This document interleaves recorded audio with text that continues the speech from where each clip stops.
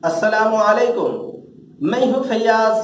आँखों देखी में आपका स्वागत है। हमारी सभी खबरों को देखने के लिए चैनल को सब्सक्राइब कर बेल आइकॉन को ऑल ज़रूर करें ताकि हमारी सभी खबरें आप तक फ़ौरन पहुँच सके।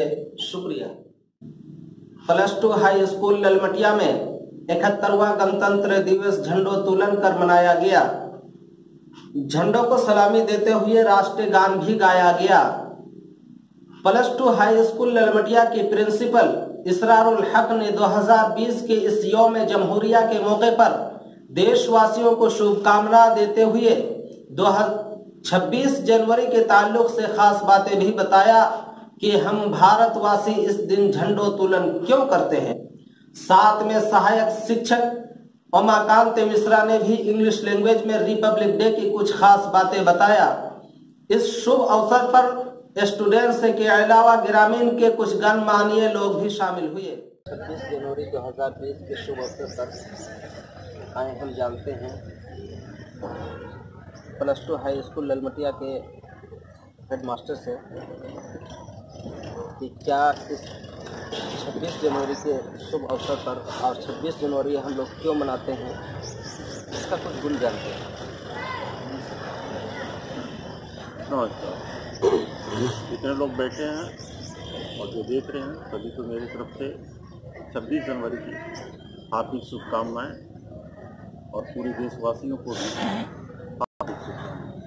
आज 26 जनवरी है और इस 26 जनवरी के भवन बेला पर विद्यालय के प्रबंध समिति, अतिथिगण, हमारे शिक्षक कर्मी और छात्र छात्राओं को मेरी तरफ़ से छब्बीस जनवरी के पावन मेले पर बहुत ही हर्ष की साथ मैं कहना चाह रहा हूँ कि आज 26 जनवरी जो हम झंडो झंडोत्तोलन करते हैं इसके पीछे सबसे बड़ा मकसद 1947 को जब भारत आज़ाद हुआ था तो हम अंग्रेज़ों के कानून को लेकर चल रहे थे। हमारा अपना संविधान नहीं था। ऐसी परिस्थिति में डॉक्टर भीमराव अंबेडकर की अगुवाई में एक कमेटी बनी और संविधान का निर्माण हुआ, जिसे स्वतंत्र भारत में 26 जनवरी 1950 को लागू किया गया। और उसी संविधान के तहत आज हमारा पूरा देश, चाहे वो कार्यपालिका हो, न्यायपालिका हो, संचालित हो। हमारा अपना संविधान है और हम गर्व के साथ कहते हैं कि हमारा संविधान एक लोकतांत्रिक संविधान है, जो पूरे विश्व में हम गर्व के साथ कहते हैं कि हमारा लोकतंत्र विश्व के सबसे बड़ा लोकतंत्र आज़ादी तो हमें मिली थी, लेकिन हमारा संविधान नहीं रहने के कारण, हम अंग्रेज़ों के संविधान को ही चला रहे थे। ऐसी परिस्थिति में हमारा अपना संविधान, अपनी संविधान की आवश्यकता थी, जो पूरा हुआ। और 26 जनवरी 1950 को लागू। इसलिए हर साल हम भारतवासी दो पर्व विश्व देश स्तर पर मनाते हैं। एक 15 अगस्त उन्नीस जिसे स्वतंत्रता दिवस के रूप में हम जानते हैं, और 26 जनवरी इसे हम गणतंत्र दिवस के रूप में मनाते हैं। आज जो हम गणतंत्र दिवस मना रहे हैं, यह इकहत्तरवा गणतंत्र दिवस है। यानी संविधान को लागू हुए आज इकहत्तर वर्ष पूरे हुए। इतना ही कहकर मैं अपनी बारी समाप्त करता हूँ। जय हिंद, जय भारत। आए हम ईश्वर से कुछ शुभकामना लेते हैं।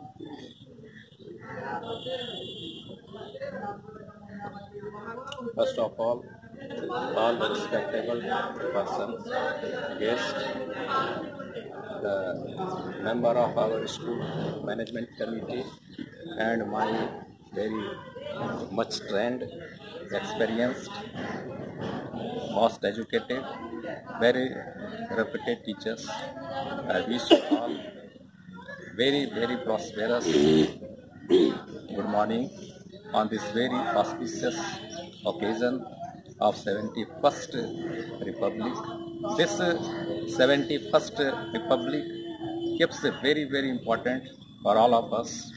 We all know that our country nearly 200 years remains under the clutches of Britishers and during this 200 they exploited our much after extreme exploitation and hard efforts and many many sacrifices of lives of our freedom fighters and many patriotism of this mother India. When we got our independence on the bright morning of uh, 15th August 1947 then in those day, those day we were not having our own constitution. And you know all that without rules and regulations no any country can be carried very well. If we want to run our family run our society however we need some rules and regulations. In the olden period also we were having many rules and regulations but this was not in the written form. When we got independence then it became very much important for all of us to make a, constitution a collection of laws so that the country may run very smoothly. And consequently it was decided that there must be the constitution of free india free nation to run this country very smoothly. And for this one constituent assembly was made up and it was the duty of that constituent assembly to prepare laws for this country. And uh, this uh, constituent assembly uh, made so many committees. And uh, one of that committee the very most important committee was drafting committee. Since that committee was headed by our honorable law ministers of those days and the great gems of our country dr bhimrao ambedkar since he was the chairman of that committee that is why he is known as the maker of constitution and constitution framer constitution is the collection of rules and regulations uh, each and every body of this country each and every institution of government or of this country is headed or ruled by this constitution executive legislative and judiciary even the prime minister and the first citizen of a country president cannot do anything um, without the consent of constitution. And not a single citizen can do anything. What uh, we do it is allowed by our constitution. It is our duty that we must respect our constitution very much.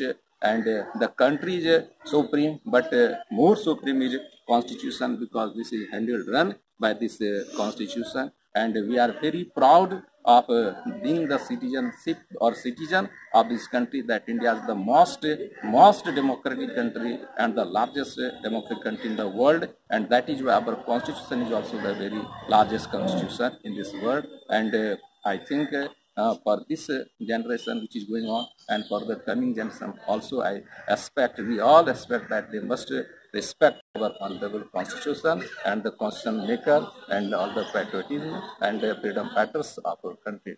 Thank you. Jai Bharat. Sir, uh, please provide us your qualification. My name is Mr. Umakant Misra.